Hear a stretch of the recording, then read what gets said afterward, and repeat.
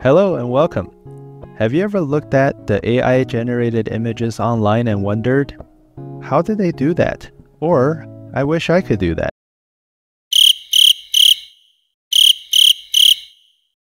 I will take your silence as a yes. One way to generate beautiful photorealistic images is with Stable Diffusion. Stable Diffusion is a free and powerful AI tool that you can run on your own PC and turn text prompts into high quality images.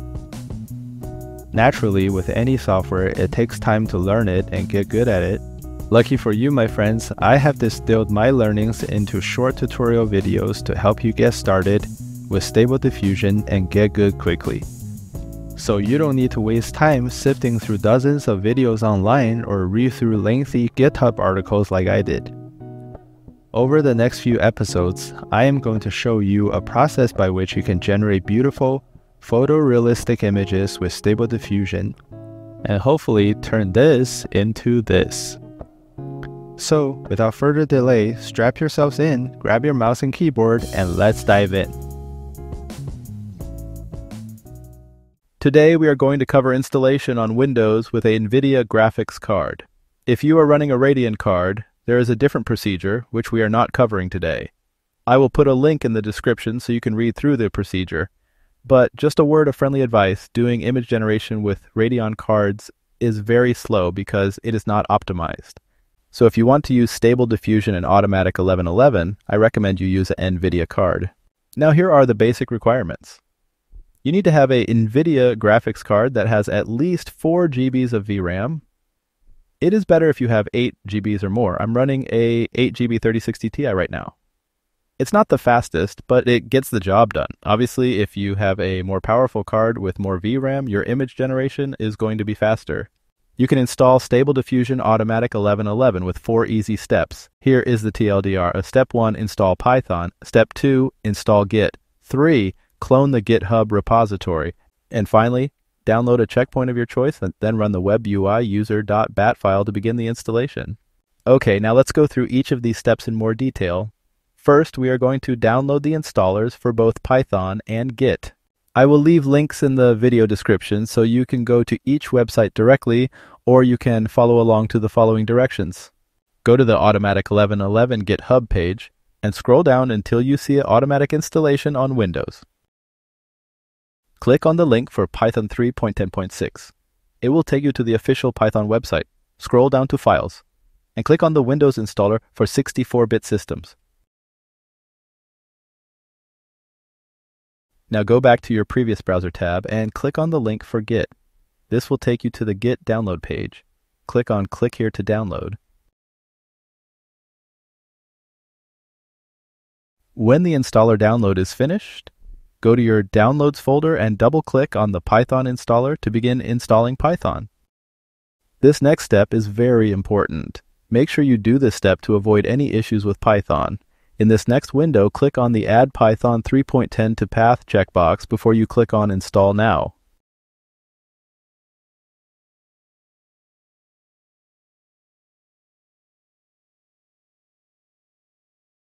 Wait for the installation to finish. You will see this screen when the installation is complete. I like to click on Disable Path Length Limit to avoid issues with Windows limiting file paths to a max of 260 characters. Windows will ask you whether you want to do this. Just click Yes. Once that's done, close this window and we can move on to installing Git. Double-click the Git installer and the Git setup window will pop up. Click on Next I'm okay with installing it in my C drive program files, so let's click Next. No need to change anything here. Click Next, then click Next again. Here it is asking you which editor would you like to use. I would recommend using Notepad++ since it is simple, lightweight, and easy to use. You will see later in the video why we need to use this. If you need to download Notepad++, you can use the link in my video descriptions or just search on Google for Notepad++ download. It will bring you to this page, and you can download the latest version. Click this big green download button and it should complete the download pretty quickly. Then you will need to install it. I won't show the installation here since I already have it installed, but the process is pretty simple. You open the installer that you just downloaded, click on the next button a few times, and the program will be installed. Now come back to the Git installer window and click Next. Here choose Let Git decide and click Next. Here stay with the default recommended option and click Next. Here stay with the default Use Bundled Open SSH option. Here go with the default option again. Here I went with the Use Windows Default Console option. On the next page, keep the default option and click Next. Then again, keep the default option and click Next. Stay with Enable File System Caching and click Next. Then on this final screen, no need to click on any of the two options and click Install. Once installation is finished, you can close this window. Go back to the Automatic 1111 GitHub page and copy this line of command. Now we are going to make a folder for Stable Diffusion and run the command we just copied to clone the GitHub repository into our folder. As you can see, I have created a folder called AI on my D drive. I would recommend creating your folder in a drive where you have a lot of free space because you are going to generate a lot of images, which takes up a lot of space, and you will be downloading models or checkpoints uh, that are very large files. So it will help if you put Stable Diffusion on a drive that is not your C drive, which also has lots of free space. Create a new folder by right-clicking and selecting New, then Folder. You can name this folder whatever you want. I am going with SD to keep the name short.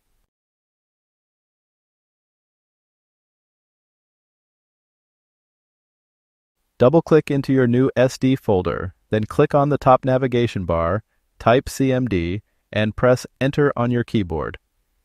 This will bring up a Windows command line that is on your current file path. Do a Control V and paste the line of command we copied into this window, then press the Enter key.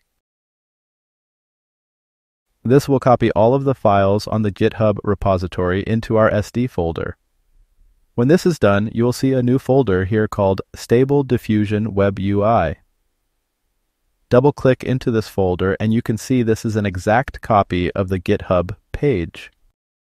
Before we can start the installation for Automatic 1111, we will need to download a model or checkpoint. There are many different models available for Stable Diffusion, both official or base models and community created models that are built by fine tuning the base models or merging different models together. The different versions of the official models are version 1.4, 1.5, 2.0, and 2.1.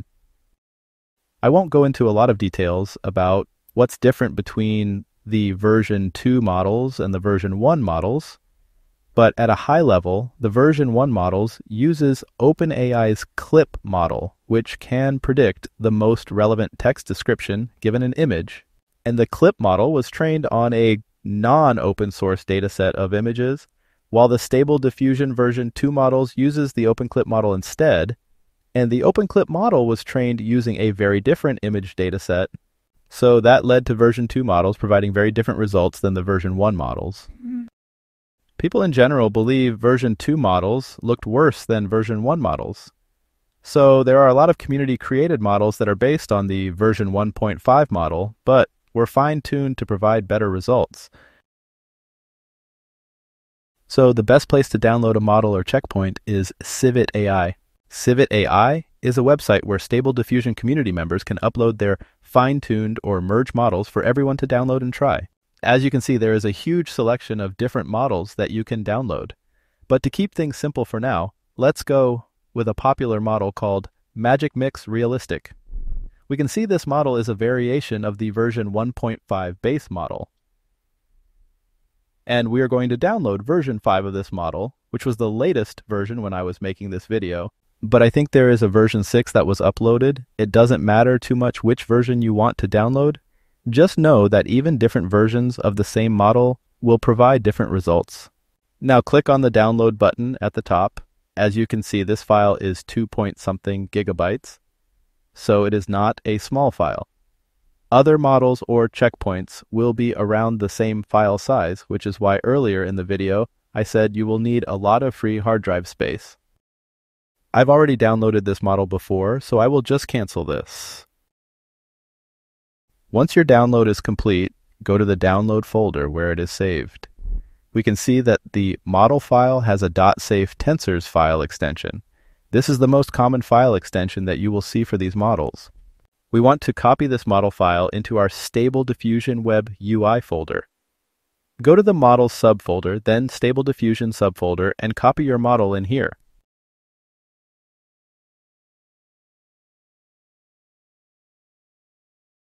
Uh, I forgot to do it here, but you should delete the copy that is in your Downloads folder to save some space. Later on, when you download additional models or checkpoints, you would do the same thing and copy the model file into this folder. Now, we are ready to install Automatic 1111. Go back a couple of levels to your Stable Diffusion Web UI folder, scroll down to find the web UI user.bat file, and double-click on it to run it. Fair warning, this is a lengthy installation process. Even if you have a high-end computer, this could still take 40 to 50 minutes to complete.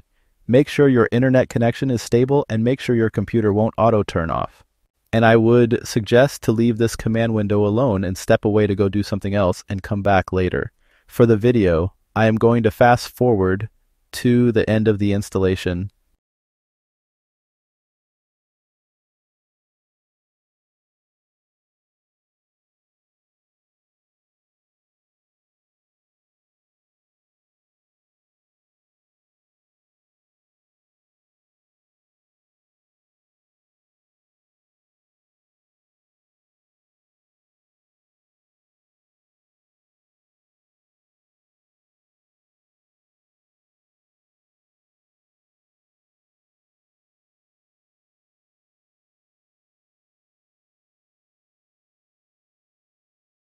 Two hours later. Okay, the installation is complete. You will know it is complete when you see this line that provides a local URL. Let's copy this URL and paste it into our browser. I am using Mozilla Firefox, but you can use the browser that you normally use.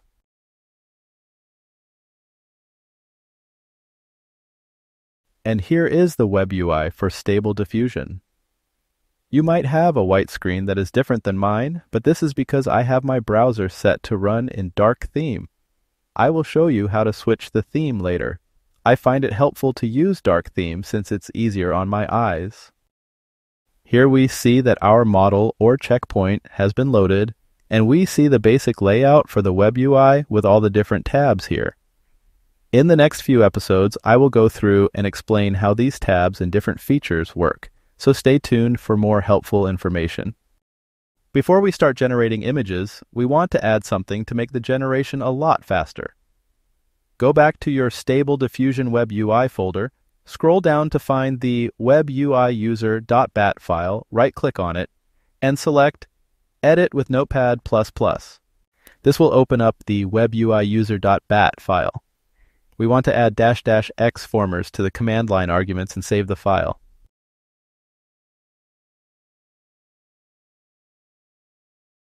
Then you can double-click on the user.bat file to run Stable Diffusion again. This time, Stable Diffusion will start by installing Xformers first.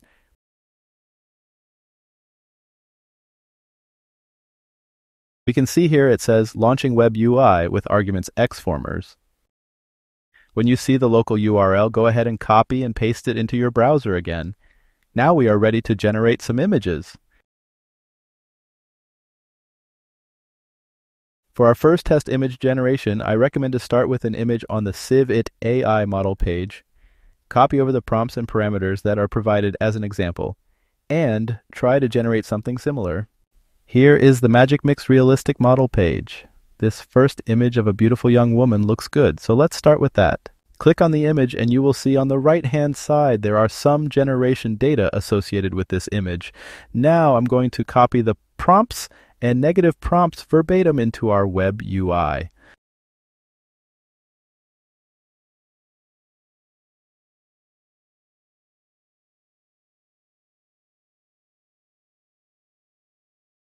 And we can see here are the other parameters that were used to generate this image. I am going to make a mental note of these and set these in our web UI. I'm also going to copy the seed value. Coming back to this tab, the sampling method is set to Euler. The steps are set to 30. We will set the height to 768 pixels because this is a portrait, and 512 by 768 is a 2 to 3 aspect ratio, which is fine for portraits. Then paste the seed value that we just copied, then click on Generate. You are not going to be able to replicate the same image exactly, but it will be something close. I'm running this on my very old laptop, which has a 4 GB NVIDIA graphics card, so it is taking a couple of minutes to generate this one image. If I was generating this on my PC with the 8GB 3060 Ti, it would only take a few seconds. It is even faster if you have a better NVIDIA card, but I wanted to show you that it is still doable on a 4 GB card. Okay, so this is done. We can see that it generated a photorealistic image of a young woman with similar features to the example image, but quite a few things are different, such as her pose, the clothing, and the background. This is okay for now, but we will dive more into the why in a different episode. Coming back to the seed value. We used a fixed seed before, but we could also use a random seed value to generate a different image.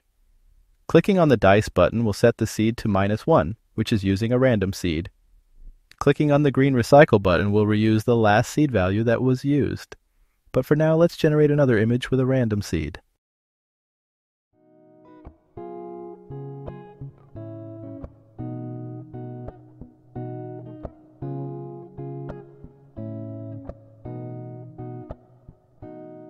Let me show you another thing while this image is generating. Well, you have an overall ETA bar here, but if you go to the command or terminal window, you will see another progress bar. This progress bar is useful when generating more than one image at a time, and this will show you the current image generating step that it is on for each image.